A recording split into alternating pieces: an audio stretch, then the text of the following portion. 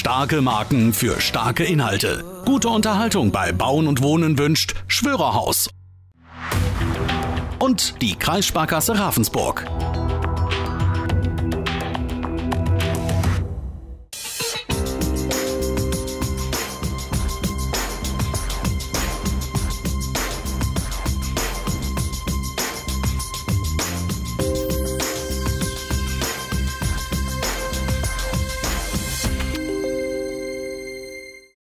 In fast jedem zweiten Garten sehen wir heute ein Trampolin stehen, auf dem die Kinder und Erwachsenen wild drauf rumtollen.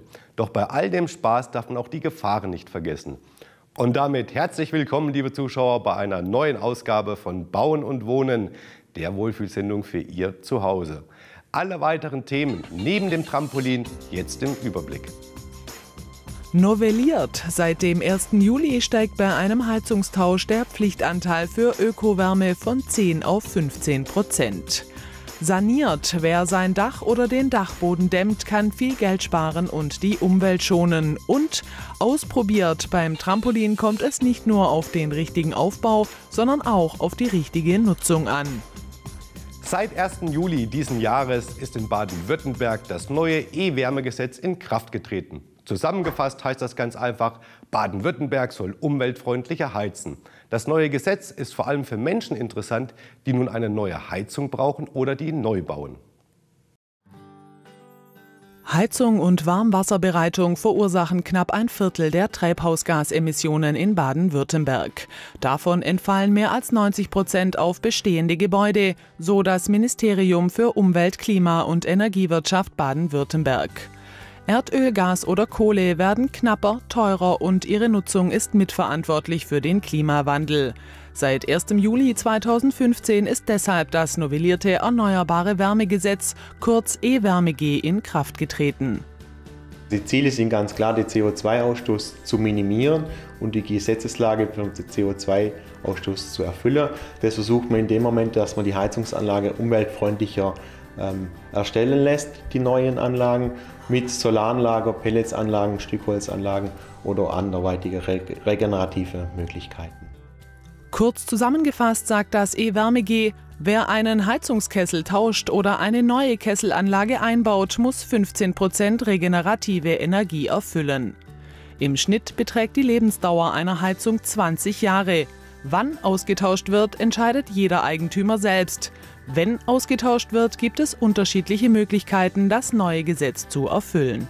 Im Bereich Pellets erfülle ich sie ja zu 100 Prozent. Bei Biogas und Bioheizöl erfülle ich sie zu 10 Prozent, wenn ich einen Gaskessel oder einen Ölkessel habe und muss dann nochmal zusätzlich irgendwelche regenerative Energien erfüllen, sprich entweder eine Solaranlage mit aufs Dach nehmen oder es gibt diesen Sanierungsfahrplan, der mir noch 5 Prozent bringt, sodass ich wieder auf meine 15 Prozent maximal komme. Ich kann auch natürlich die die Anlage mit einer Wärmepumpe ausführen, dann komme ich auch entsprechend in diesen Bereich 15 Prozent oder andere Möglichkeiten mit Mikro-PHKWs, also Blockheizkraftwerke. Noch eine Möglichkeit ist der bauliche Wärmeschutz. Heißt, Dach, Außenwände, Kellerdecke oder die Gebäudehülle müssen eine entsprechende Dämmung aufweisen. Die Erzeugung von Sonnenstrom ist mit der Neufassung des E-Wärme-G jetzt ebenfalls eine anerkannte Alternative. Bislang war das nicht so. Wer vor dem Austausch der Heizung über keine PV-Anlage verfügte, durfte auch keine neue installieren, um die Vorschriften des Gesetzes zu erfüllen. Dieses Hindernis hat der Gesetzgeber jetzt beseitigt. Wer künftig durch regenerative Energien spart, spart am Ende auch langfristig bares Geld. Letztendlich ist es abhängig, wie viel ich an Investitionen tätige, wie viel Aufwand ich damit betreibe, wie viel regenerative Energien ich einsetze und dementsprechend äh, amortisiert sich das innerhalb von, von 10, 15 Jahren. 10 bis 15 Jahre, in denen man etwas Gutes für die Umwelt tut und die Energiewende in Baden-Württemberg unterstützt. Detaillierte Informationen zum neuen E-Wärmegesetz und wie Sie dieses zu Hause auch einhalten, bekommen Sie bei Ihrem Energieberater vor Ort. Bei uns geht es gleich weiter, unter anderem mit dem Thema Trampolinspringen und was Sie bei all dem Spaß beachten sollten. Gleich geht es weiter mit Bauen und Wohnen, präsentiert von Schwörerhaus und der Kreissparkasse Ravensburg.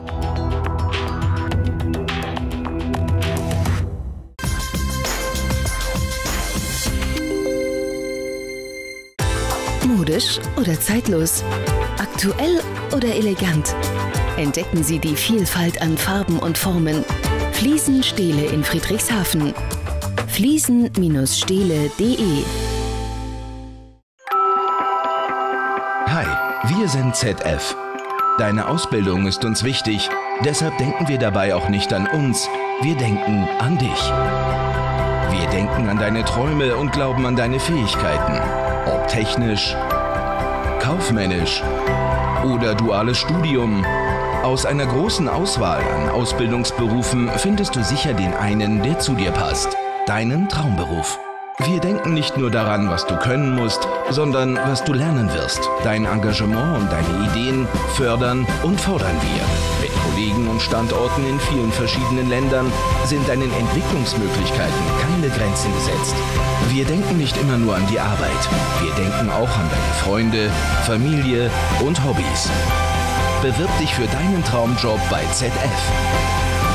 Mehr Informationen findest du unter ichbeizf.com. Beckmann, Ihr Spezialist für Gartenartikel und Gewächshäuser. In Wangen im Allgäu vereinen wir 40 Jahre Erfahrung und Innovationskraft, um Ihren Gartentraum zu erfüllen. Versierte Fachkräfte, moderne Fertigungstechniken sowie hochwertige Werkstoffe garantieren die ausgezeichnete Qualität und lange Haltbarkeit unserer Gartenartikel. Überzeugen Sie sich bei uns vor Ort in Wangen. Unser Ausstellungsgarten bietet jede Menge Inspiration für Ihre Gartenwelt. Fordern Sie unseren großen Katalog an oder entdecken und bestellen Sie gleich online auf beckmann-kg.de. Beckmann, Ihr Spezialist für Gartenartikel und Gewächshäuser. Von der Marktwertermittlung über die Beratung bis hin zur notariellen Abwicklung. Wir kümmern uns von A bis Z um den Verkauf Ihrer Immobilie, ohne vertragliche Bindung. Wir präsentieren Ihre Immobilie außergewöhnlich und aus allen Perspektiven. Rufen Sie an und vereinbaren Sie einen Termin. Wir beraten Sie gerne. Bauerimmobilien www.bauer ohne e-immobilien.de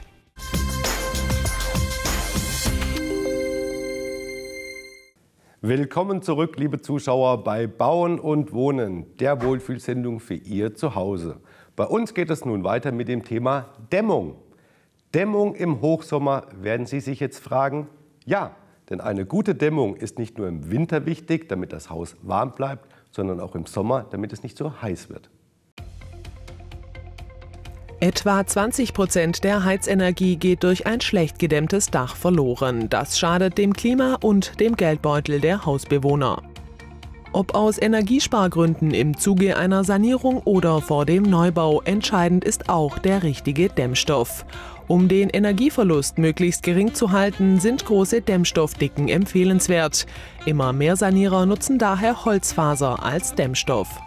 Die großen Vorteile von der Holzfaserdämmstoffe sind ganz klar die Sorptionsfähigkeit des Materials, heißt nimmt Feuchtigkeit auf und gibt es auch wieder ab.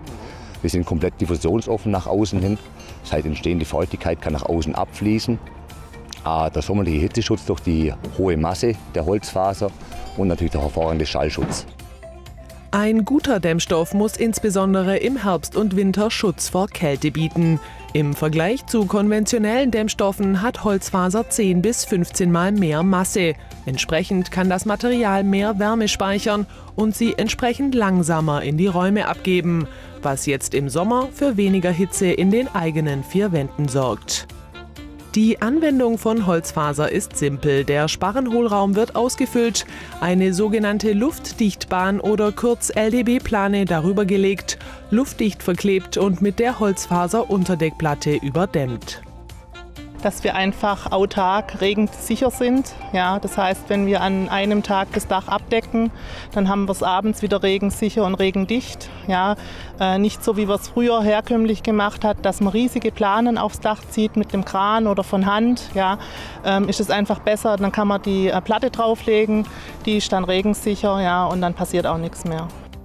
Der Holzfaserdämmstoff ist für alle Bauweisen, sowohl Alt- als auch Neubau, geeignet. Meist wird er allerdings in der Sanierung angewandt, denn vor allem dort bringt das Material die genannten Vorteile.